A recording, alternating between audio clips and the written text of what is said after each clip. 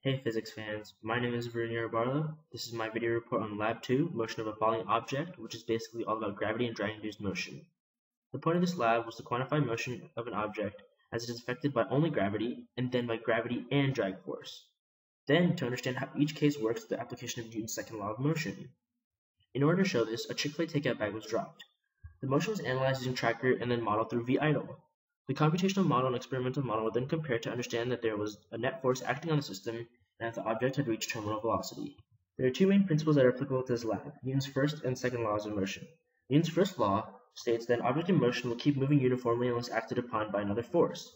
In this lab, the object does not move uniformly because it is acted upon by other forces, gravity and drag force.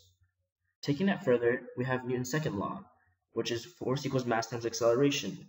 Deriving that, we get velocity final equals velocity initial plus F net divided by mass times delta t. Here the net force is not zero, and we know this because there is not constant velocity. There must be at least one agent in the surroundings that is affecting the system. Agents here are the weight force from the Earth and the drag force.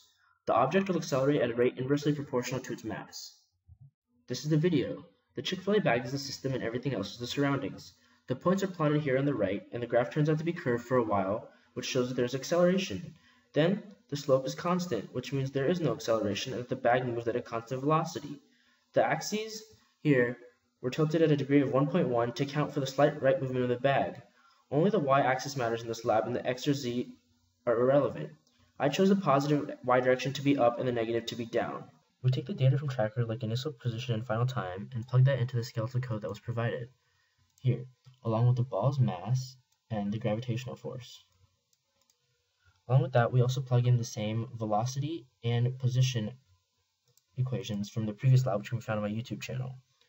This line, equation, and assignment statement are essentially Newton's second law of motion. When this model is run, with the weight force being the only force yielding to the net force, we get this. The model's predictions are very different from what happened in the experiment. The bag in the experiment actually moved a lot less than what was supposed to be, according to the model. The model overpredicted what happened. The reason for this discrepancy is because the weight force was not the only force acting on the bag. There's also the drag force. Before I show the model with the drag force, I want to mention another thing. I used the kinematics equation to check the final position of the object with only the weight force after it falls to make sure that the model does an accurate job predicting the object's motion. This is the fundamental equation for kinematics, one of them at least. And the equation, after plugging in values, gives a value of negative 7.9 meters as the final position which is the exact same position the model gives as seen here. Drag force is accounted for in the code by using the turbulent force equation containing the proportionality constant b and the ball's velocity squared. b was chosen by matching the model's final position with the observed motion's final position. This equation can be written like this in the code.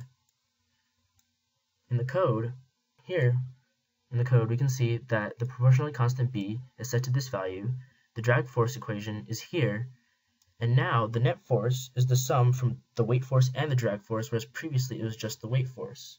Now let's run the code. As you can see, when accounting for drag force, the model does a better job of predicting the motion of the bag. In the graph, the model of the weight and the drag force is much closer to the experimental position of the bag. In conclusion, we can say that the terminal velocity will be experienced by the object with a large quantity of drag, which is a slowly dropping object that has more surface area and less density. This is what happened in my case. To make sure my bag had terminal velocity or was very very close to having terminal velocity, I checked on Excel. I calculated the slope from the experimental position values that I had gotten by doing final position minus initial position divided by final time minus initial time. Then I found the change in slope by, by doing final slope minus in initial slope and displayed those values here. Then I took a few of the values in, from the change in slope and averaged them because I thought they are what consisted and made up of the terminal velocity, or where terminal velocity was. The average change in slope was found to be 0.002 meters per second, or negative in this case because it was going downward. If I had dropped the bag from a higher point, I'm sure I could have even gotten lower numbers to a point where the change in velocity would be zero, meaning terminal velocity was reached. Now, let's answer the questions. What does it mean? The second model accounting for both the weight and the drag force, does a much better job of showing terminal velocity. Terminal velocity is achieved because the object has enough drag that is equivalent to the weight force, so net force is zero, meaning velocity is constant. Gravity was the prevalent force in the beginning, which is why the graph was curved initially. But later it becomes linear due to the zero acceleration and constant velocity. Question 2. What if? Just dropping an object will show a graph having downward acceleration. If the object is thrown down with enough of a force, say arbitrarily enough to give an initial velocity of about negative 10 meters per second, then throwing it down means it will actually have a drag force that exceeds gravity. So it will end up decelerating first, as seen here by this arc in the graph.